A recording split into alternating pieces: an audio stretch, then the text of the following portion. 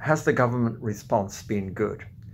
It has. It's been cautious, it's been scientifically based, evidence based, based on the correct information. It has changed a bit in the last few days because of a paper from Imperial College which suggests the spread is going to be worse than was predicted here. And all the government can do is put actions in place. They're pretty considered, not the sort of blanket reaction you get in some authoritarian states. So, on the whole, I think they've done a good job. What about testing at borders? Border controls have never really been introduced here for sanitary purposes, health purposes in the UK. What are you going to do? You could pick up people with fever, many of those will just have a cold. You can suppress fever with paracetamol anyway.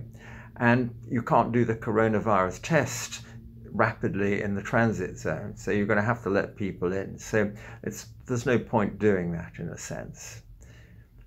The Imperial College report at the weekend changed things. Published in The Lancet, it's the first time a mathematical model looks at the worst case scenario, the disaster endpoint. And I think that is the problem with it. If you take data and you ask epidemiologists and mathematicians to come up with various models, they'll produce the worst case model. And then there's anything else in between. And that is what we've got in the report. But it certainly has spooked our leaders into taking more drastic action. The, the NHS works at capacity. So the number of beds, the number of ITU slots, the number of ventilators are based on the fact they'll be occupied nearly 95% of the time. Most European systems have much more spare capacity. That's something we don't have the luxury of in the NHS. And I think in the long term, we have to reflect whether we want to change that. Will the virus come back? This is a very good point. We don't know, to be honest, but I don't think it will. Um, there's no evidence in China of any mutation, but time will tell us.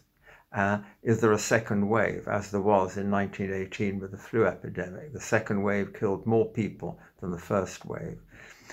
These are imponderables. We just don't know. We'll have to keep things going until we get a reduction in the number of new cases per day, which will probably take about a month. And then I suspect things will get relaxed a bit. Will the world change after COVID 19?